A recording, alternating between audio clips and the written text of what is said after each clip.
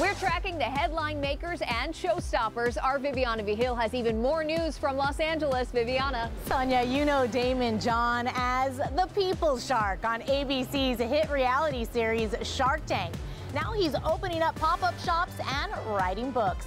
Our Megan Telles is going one-on-one with the business mogul in Las Vegas.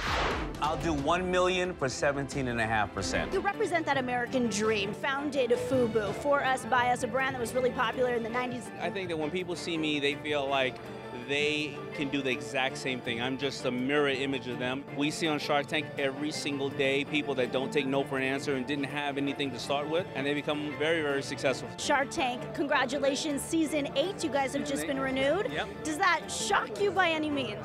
It does, you know, because the first three seasons I never figured that people would want to see business people talking, but you give it to a genius like Mark Burnett. Would you go to four million? Put some music that makes you feel like your stomach's gonna drop.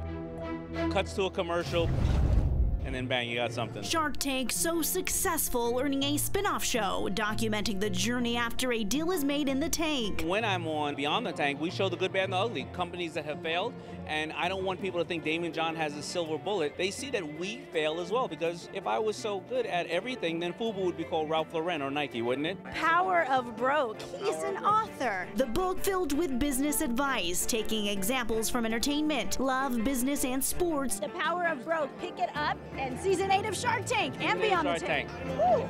Thank you. Wipe the sweat off. I'm tired for you.